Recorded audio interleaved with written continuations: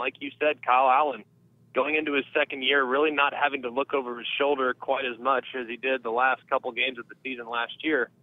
I think that's going to suit him well. I mean, he's got some talented playmakers around him. He's got a pretty good supporting cast on the offensive line, so there's a lot of reason to believe Kyle Allen's going to be much better in year two than he was in year one, which will definitely be a a unusual commodity when looking at the SEC teams. Not a lot of guys have game changers at the quarterback position, and Kyle Allen can easily be that if he takes a significant step forward.